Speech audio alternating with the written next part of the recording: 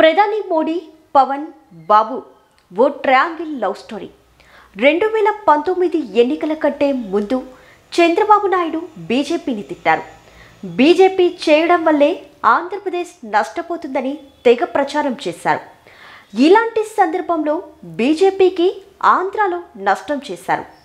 ప్రభుత్వంతో ఉన్న ఐదుగురు ఎమ్మెల్యేలను ఇబ్బందులకు గురి చేశారు కేంద్రంతో తెగదింపులు చేసుకున్నారు.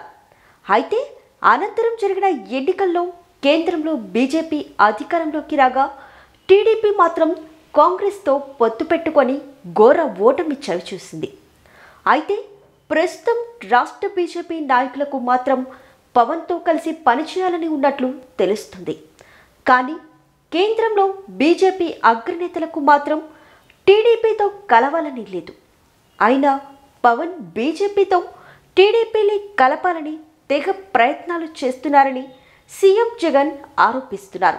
ప్రస్తుతం బీజేపీ రాష్ట్ర అధ్యక్షురాలు పురంధేశ్వరి మిగతా బీజేపీ నాయకులు సైతం పవన్ టీడీపీ బీజేపీ కలవాలని కోరుకుంటున్నారని సీఎం జగన్ విమర్శలు చేస్తున్నారు. కానీ బీజేపీ అధిష్టానం మాత్రం చంద్రబాబు చేసిన మోసానికి అస్సలు ఇష్టపడడం లేదని చెబుతున్నారు. బీజేపీ టీడీపీ కలవాలని పవన్ శతవిధాల ప్రయత్నాలు చేస్తున్నారు.